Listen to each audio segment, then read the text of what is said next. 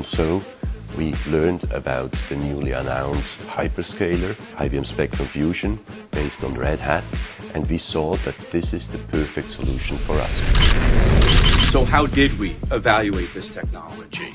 Well, first we had to form a team of Red Hat OCP experts, IBM storage experts, and application experts to scrutinize this technology as if it was their own.